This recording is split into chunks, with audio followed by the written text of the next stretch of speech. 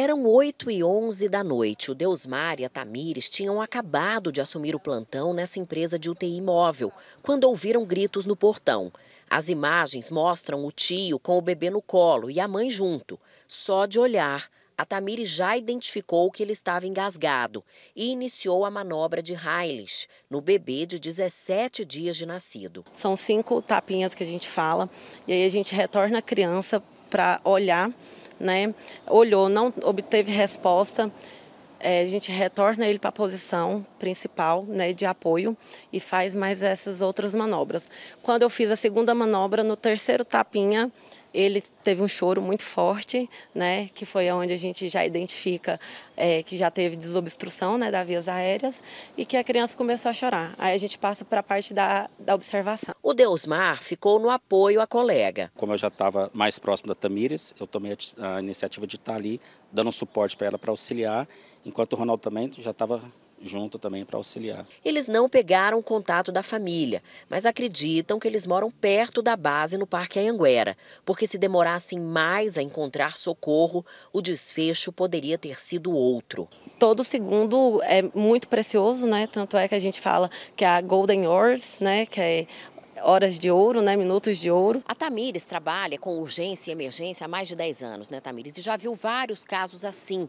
Já atendeu outras crianças nessa situação. E uma recomendação que ela dá a pais, principalmente de bebês, é que aprendam a manobra. Não é difícil, né, Tamires? Não, não é difícil e de uma forma eficaz e bastante segura, com treinamento e devidamente é, instruído.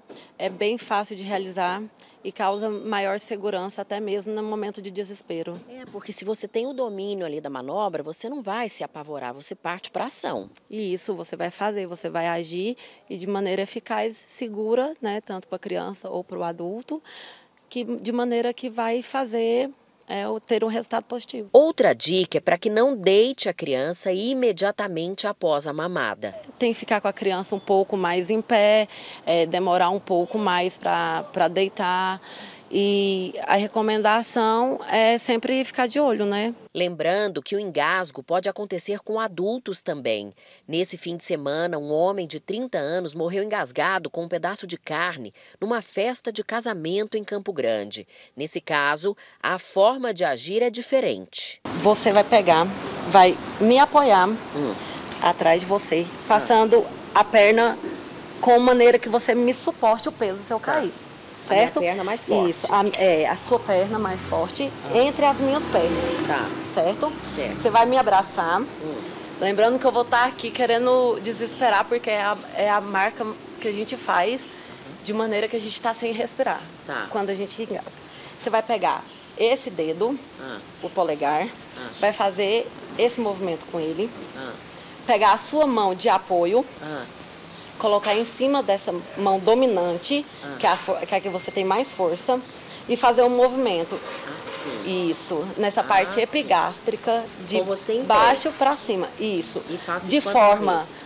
até o objeto sair. Para encerrar a reportagem, nós encontramos o Ravi e proporcionamos o encontro dele com a enfermeira. Ela fez questão de demonstrar como fez para socorrer o bebê. E o Ravi gostou.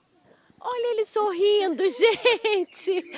Ah, não! Que gracinha! Aí ele já voltou e estava chorando. Ele gostou, olha só. Você é grata a ela? E muito, Deus me livre. Salvou a vida do Ravi, né? Salvou.